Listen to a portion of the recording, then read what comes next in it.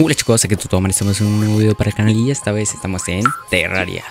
Si alguna vez no has sabido cómo avanzar en Terraria o qué orden seguir en cuanto a jefes, quédate porque te enseñaré el orden para derrotar a los jefes según Terraria. Y ojo porque la mayoría de jefes no tienen exactamente un orden, pero es el orden teórico. Y ya está, vamos a ver. El primero y uno de los más fáciles es el Rey Slime. Se puede invocar matando a 150 slimes durante una lluvia de slime o con el invocador, la corona de slime, que se hace con la corona de oro o platino y 20 de gel en un altar de la corrupción o carmesí.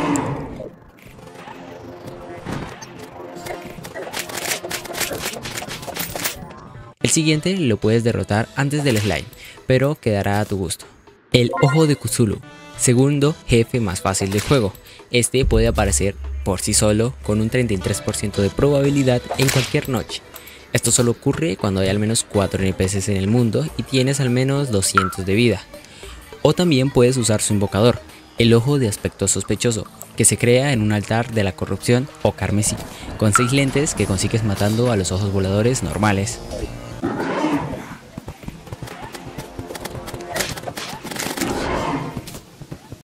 El tercero es el cerebro de Cthulhu, o el Devoramundo según sea tu caso. Si tu mundo es carmesí tendrás al cerebro y si tienes corrupción tendrás que derrotar al Devoramundos.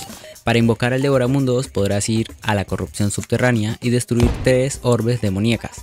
Puedes atravesar estos bloques con bombas y la orbe la puedes romper hasta con el martillo de madera o craftear el invocador cebo de gusano con 15 carnes podridas y 30 polvos viles en un altar de la corrupción. Para invocar al cerebro de Cthulhu funciona más o menos igual. Puedes romper tres corazones situados en el carmesí subterráneo o craftear el invocador, espina dorsal sangrienta, con 30 polvos feroces y 15 vértebras en un altar carmesí. Y estos solo los puedes invocar en su bioma corrupto.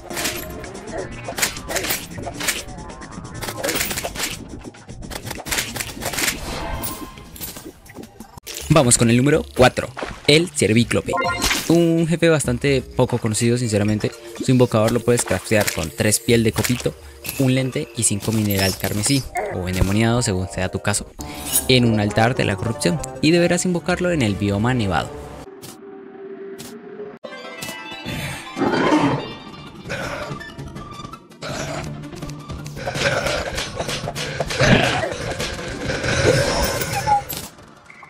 Número 5 y muy importante, el guardián de la mazmorra. Lo puedes invocar hablando con el anciano que se encuentra afuera de la mazmorra sobre la maldición durante la noche y aparecerá.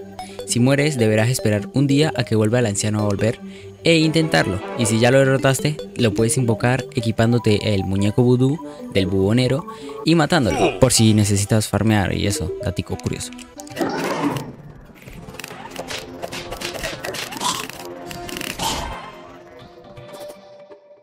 Número 6. La abeja reina. La abeja reina la puedes invocar rompiendo una larva en un panal de abejas de la jungla subterránea o con su invocador abejaminación, que puedes craftear con 5 bloques de miel, un aguijón, 5 bloques de colmena y una miel embotellada. Para este no necesitas ningún altar ni ninguna mesa, nomás lo crafteas ahí con tus manitas donde estés parado.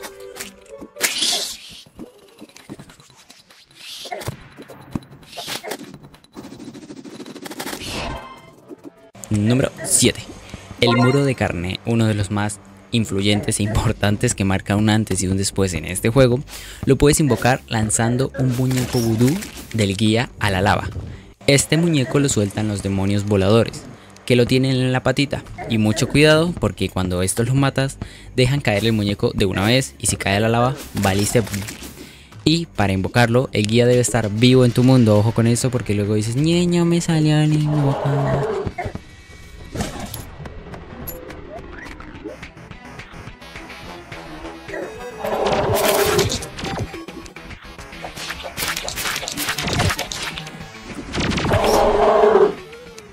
Y una vez que lo derrotes, acá empiezan los jefes del Hard Mode. Y empezamos con la Reina Slime.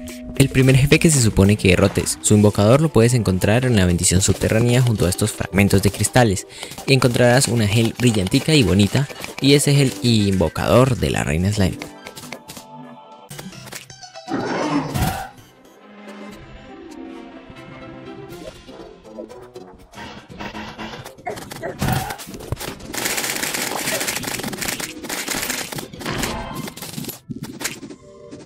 Empezamos con los jefes mecánicos, son tres. Y el orden en el que lo derrotes entre ellos no importa. Estos son versiones mecánicas de los anteriores jefes, el ojo, el devoramundos y el esqueleto.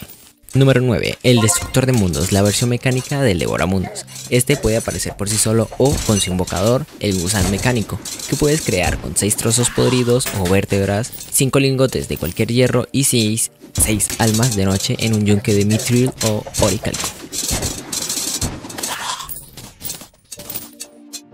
Número 10. Los gemelos, la versión mecánica del ojo de Cthulhu puede aparecer por sí solo o con su invocador, el ojo mecánico, que se puede crear con tres lentes, seis armas de luz, cinco lingotes de hierro o plomo y en un yunque de mitril u oricalco.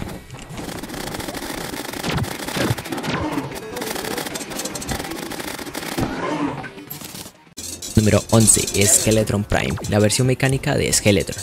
Puede aparecer por sí solo o con su invocador cráneo mecánico, que puede crear con 30 huesos, 5 lingotes de hierro u plomo y 3 almas de luz y 3 almas de noche en un yunque de mitril u oricalco again.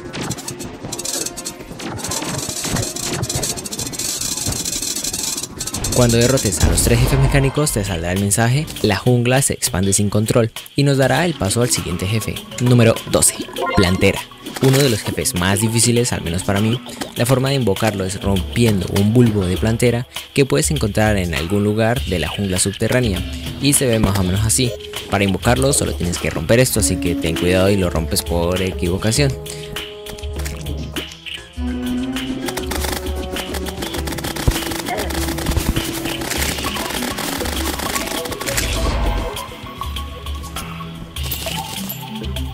Al matar a Plantera te va a dar una llave, que usaremos más adelante. Número 13. La Emperatriz de la Luz.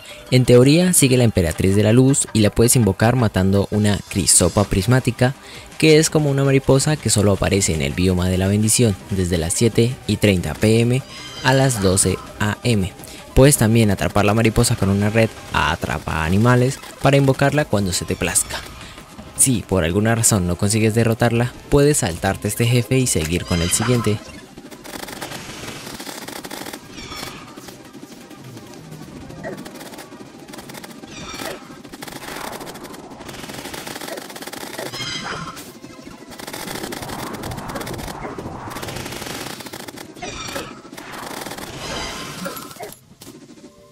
Número 14. El Golem. Para el golem usaremos la llave que nos dejó anteriormente Plantera para ingresar a el templo de la jungla subterránea y en la última habitación del templo, templo podrás invocarlo en su altar con una célula de poder de Lisa. Esta célula la encontrarás explorando en la misma mazmorra así que no habrá problema.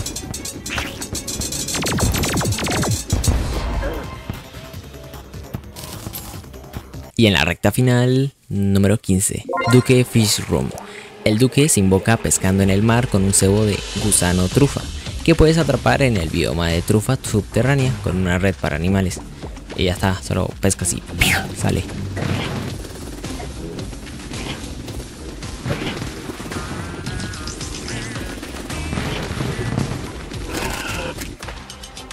16. El sectario lunático.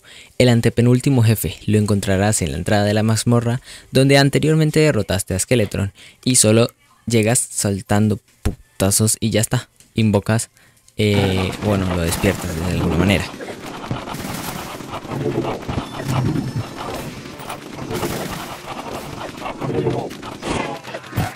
Cuando derrotas a este sectario lunático, el juego se pone locochón y aparecen cuatro pilares a lo largo del mapa, lo que nos lleva al 17, Moon Lord. Llegamos al Final Boss. Para invocarlo, la primera vez tendrás que destruir los cuatro pilares anteriormente mencionados. Después de esto saldrá un mensaje y tras un minuto llegará el bicho. Si no logras derrotarlo a la primera, podrás invocarlo con un invocador que creas con 12 fragmentos de cada pilar pero esto solo te alcanzará para dos invocadores. Si fallas otras dos veces, tendrás que matar al sectario y derrotar a cada pilar para volver a derrotarlo. Así que ojo cuidado.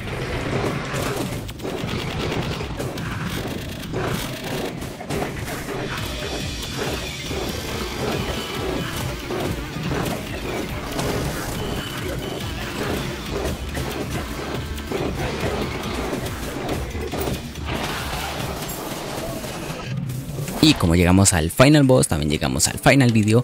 Y bueno, los próximos videos serán más enfocados en cómo derrotar a cada jefe y veremos truquitos y cositas.